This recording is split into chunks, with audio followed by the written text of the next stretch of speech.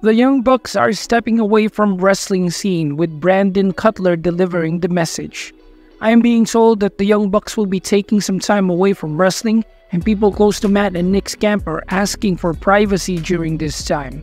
The authenticity of this news remains uncertain, raising questions about whether it's a genuine development or just part of an AEW storyline. While it could serve as a cover for recuperation from actual injuries and a break to spend time with family during the holiday season, it also aligns with the current narrative direction involving the Young Bucks.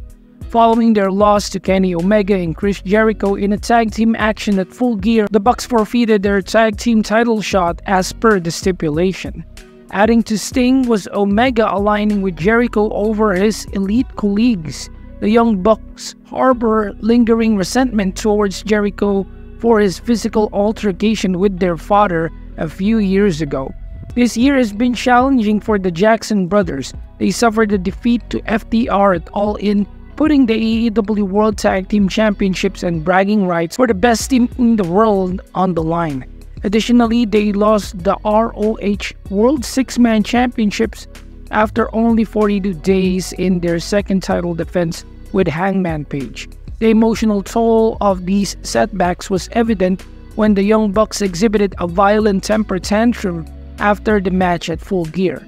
Now, the news of their temporary departure adds another layer. Cutler's message is laced with a touch of humor.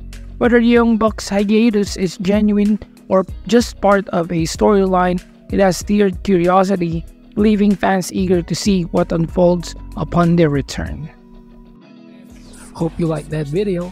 For more videos like this, please subscribe. Don't miss on any of my new uploads.